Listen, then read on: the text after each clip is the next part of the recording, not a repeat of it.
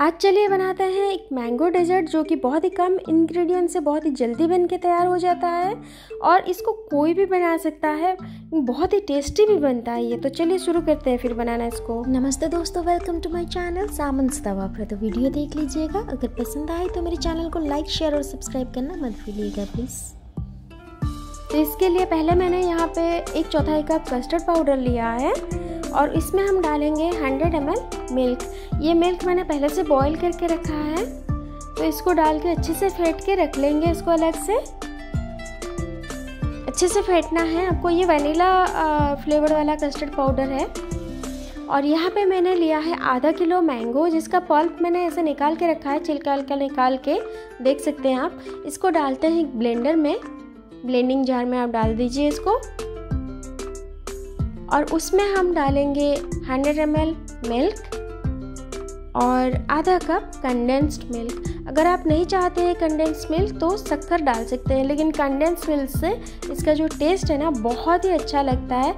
तो इसको चलिए ब्लेंड कर लेते हैं। एक अच्छा सा स्मूथ सा पेस्ट बना लेंगे इसका हम। इसमें पानी मिलाने की ज़रूरत बिल्कुल भी नहीं है। तो ये देखिए ब्लेंड हो गया। अभी यहाँ पे मैंने रखा है मीडियम हीट पे पैन इसमें हम डालेंगे ये जो ब्लेंड किए हैं हम। इसको डालने के बाद मीडियम हीट के ऊपर मीडियम फ्लेम के ऊपर हमको इसको बराबर चलाते हुए तीन से चार मिनट कुक करना है। छोड़ना नहीं है बिल्कुल भी, वरना ये बटन पे चिपक सकता है। तो इसको बराबर चलाते हुए तब तक हमको कुक करना है जब तक कि इससे बबल आना शुरू ना हो जाए। आप देख सकते हैं बबल आना शुरू हो गया है। तो इसका मतलब थोड़ा सा थिक भी हो चुका है। अभी हम इसमें मिलाएँगे जो कस्टर्ड बना के रखे थे मिला के। तो कस्टर्ड मिलाने से पहले आपको फ्लेम को लोएस्ट करना है और कस्टर्ड को अच्छे से फेंट के फिर इसमें मिलाना है।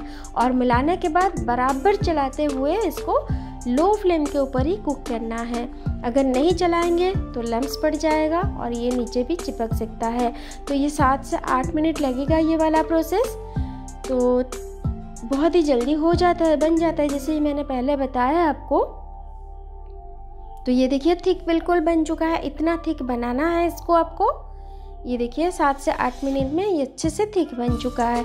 इसको चलिए हम अभी डेजर्ट बॉल में निकाल लेते हैं। आप कोई भी डेजर्ट बॉल में जिसमें आपको सर्व करना है, आप निकाल सकते हैं। यहाँ पे मैंने दो बॉल लिया है तो दोनों में इक्वल क्वांटिटी में हम डिवाइड कर लेंगे और इसका ऊपर का हिस्सा थोड़ा सा स्मूथ कर लेंगे स्पैचुला की मदद से।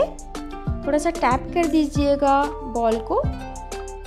तो स्मूथ हो जाएगा, ऊपर का हिस्सा स्पैचुला की मदद से स्मूथ कर लेंगे।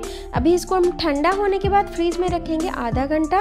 आधा घंटे के बाद ये जब पूरी तरह से ठंडा हो जाए, इसको गार्निश करेंगे थोड़ा सा चॉप्ड मैंगो, एलमंड स्लाइसेस और चेरी के साथ। अगर आप चाहें तो वॉलनट भी डाल सकते हैं इसमें और मिंट लिप के साथ।